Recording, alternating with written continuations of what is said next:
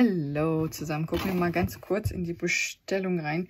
Ich habe hier die liebe Iselin, die hat ein Uniknoll Amarena Melange bestellt.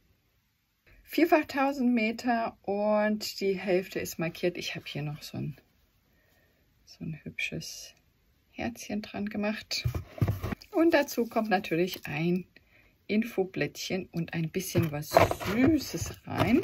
Und Nummer zwei ist die liebe Jenny. Sie hat ein Designergarn sich zusammengestellt. Das sind zwei Fäden meliert, ein Graphit und ein Gabbiano mit einem Glitzerfaden Kupfer.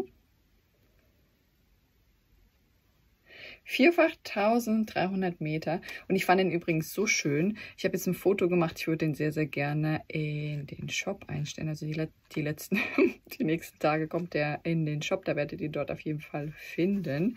Und da hat sie sich noch ein Socksknöllchen zusammengestellt aus Sonne, Opal und Pionia im Color Blocking. Also das ist kein Verlauf, sondern die Farben kommen direkt hintereinander in der Stärke vierfach und Länge 300 Meter.